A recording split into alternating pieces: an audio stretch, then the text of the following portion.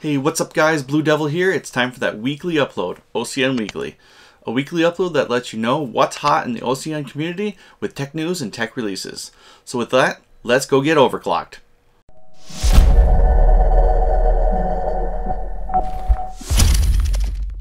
So let's kick this off with some interesting news from NVIDIA. NVIDIA says it can create the most energy efficient GPU in the world at any time. Well, this seems like a pretty bold statement to make, but then again, Nvidia does own over 80% of the market share. With GPU pricing climbing, let's hope prices come down massively. I won't hold my breath though. Also in the news from Nvidia, the face of marketing for Nvidia, Tom Tap Petersen, has left for Intel.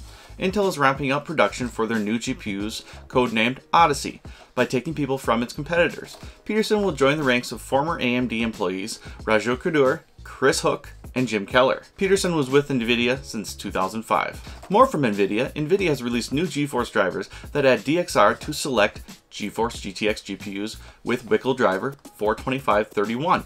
It looks like all the new GTX Turing line, as well as the GTX 1060 6GB on up, is supported in addition to Titan graphics cards based on both Pascal and Volta architectures. While previously communicated that non-RTX cards could not perform DXR functions, NVIDIA has now stated supported GPUs will use CUDA cores to execute DXR workloads. While the RTX counterparts can and will process DXR workloads using RT and Tensor cores at a much faster rate. And the last bit of news pertaining to NVIDIA GPUs is actually coming from EVGA. EVGA has launched their new flagship GPU, the RTX 2080 Ti Kingpin Edition. The RTX 2080 Ti Kingpin takes the title as world's fastest GPU. Achieving this title means a hefty board design packing a 16 plus 3 phase VRM for extreme overclocking in mind, pulling in more than 520 watts using the onboard VBIOS.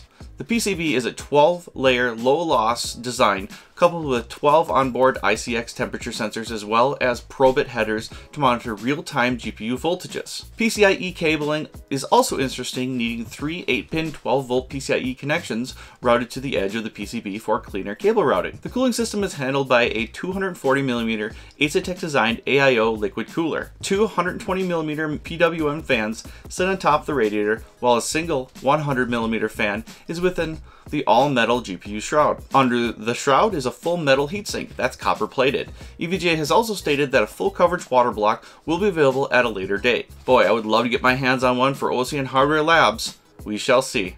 Another tech giant, Apple, has recently announced that they would sell wireless charging AirPods, then decides to cancel the charger days later. Apple has stated that, after much effort, we have concluded AirPower will not achieve our high standards and have canceled the project. It just seems that Apple right now, as they usually do, think they need to reinvent the wheel.